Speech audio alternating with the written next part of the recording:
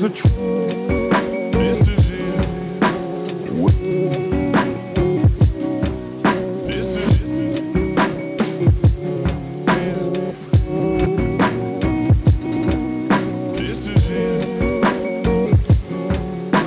Way up in the mountains, there's a thousand feet high. This is it. There's a trail through the trees to a trail through the Carolina meets the sky.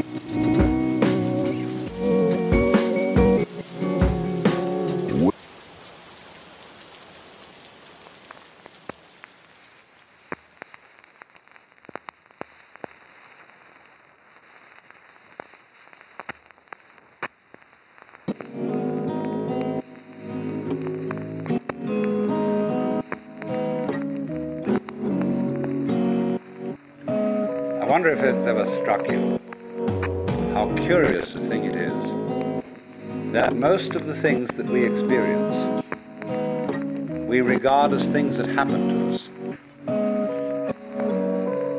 which we ourselves do not originate, which are events